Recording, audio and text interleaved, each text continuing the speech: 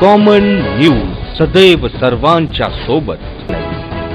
Common न्यूजच्या ताज्या घडामोडी जाणून घेण्यासाठी आताच आमचे कॉमन न्यूज चॅनल सबस्क्राईब करा आणि रहा आमच्यासोबत. सावरगाव येथे परप्रांतीय मजुरांना धान्य वाटप.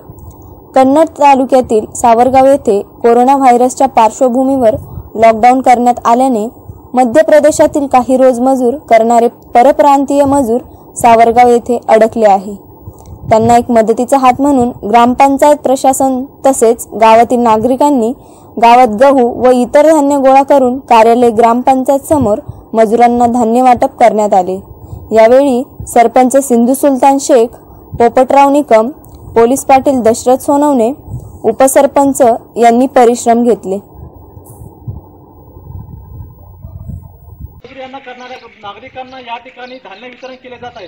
कार्यालय ग्रामपंचायत सावरगाव तसेच गावातील स्थानिक नागरिकांनी गावात धान्य जमा करून आता यांना धान्य वाटप करण्यात आले आपल्यासोबत सरपंच गावातील माजी सरपंच पोपटराव निक्काम गावातील तरुण पण आज.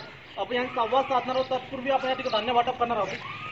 आणि कोरोना आजाराचं जे जास्त म्हणजे प्रमाणात वाढलेले आहे त्या संदर्भात या ठिकाणी मध्य प्रदेशचे जे मजूर आहे थांबून आठ दिवसापासून त्यांना खाण्यासाठी काही नाही.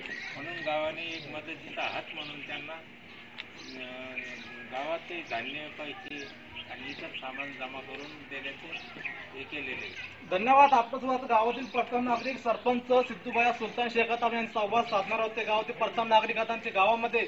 कोरोना पार्श्वभूमीवर उपाय योजना राबवतात त्यांच्या संवाद आपण काय सांगू शकाल? आज कोरोना पार्श्वभूमी गावामध्ये तगडा बंदोबस्त दिला आहे नागरिकांना तुम्ही धान्य वाटप करताय काय सांगू शकाल?